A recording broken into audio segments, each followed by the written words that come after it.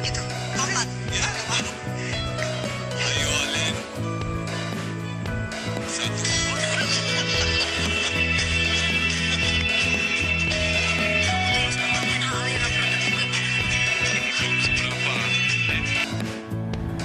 Assalamualaikum warahmatullahi wabarakatuh. Hai para sahabat pentas Ayu Ting Ting Selamat sore, selamat berjumpa lagi bersama Bang Mimin tentunya di Ting Ting TV Kabar-kabar menarik dan terbaru seputar Ayu Ting Ting Menemani istirahat kalian di sore hari ini Kembali lagi saya akan menyuguhkan kabar-kabar terbaru tentunya dari Ayu Ting Ting Kabar pertama datangnya dari postingan salah satu sahabat ya di mana di dalam akun pribadinya Ayu Ting Ting memposting kenangan kebersamaan dengan Syahir sih.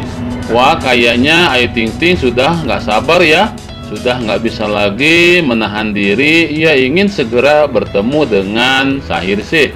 Itu dibuktikan di postingan terakhirnya, ia memposting kenangan kebersamaan bersama dengan Syahir Syekh.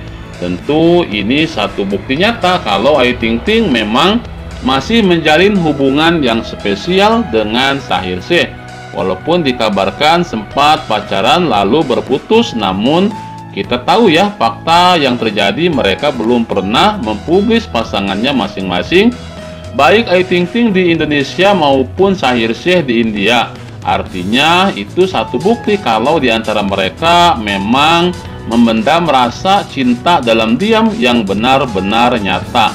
Apalagi dari postingan ini kita akan semakin yakin ya kalau memang mereka saling berhubungan. Mana mungkin Ayu Ting Ting memposting foto kebersamaannya dengan Sahir C kalau di antara mereka tidak ada hubungan. Apalagi kalau Ayu Ting Ting belakang ini kan digosipkan tengah dekat dengan seseorang di Indonesia. Mana mungkin memposting Sahir C kalau tidak ada hubungan dengan Syahir Syekh. Lalu dari postingan itu tentu dibanjiri komentar ya dari para sahabat. Di antaranya Hartik Hartik Aiting ia menuliskan caption kata dia, kapan ya bisa ketawa lepas mereka udah kangen. Nah itu adalah satu kangennya dari sahabat yang ingin melihat kebersamaan antara Ayu Ting Ting dan Syahir Syekh kembali. Mari para sahabat kita berdoa ya semoga itu semua bisa terjadi dan mudah-mudahan di tahun ini mereka segera bertemu. Ini dulu kabar menarik dan terbaru Ayu Ting Ting bersama Bang Mimin tentunya di Ting Ting TV. Sekali lagi jangan lupa dukung channel ini dengan cara mensubscribe-nya. Sekian, terima kasih.